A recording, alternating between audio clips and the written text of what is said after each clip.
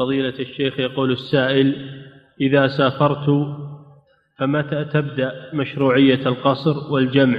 إذا خرجت من البلد إذا خرجت من البلد يبدأ مشروعية القصر والجمع والإفطار في رمضان.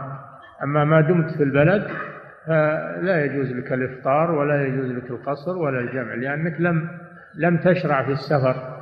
نعم.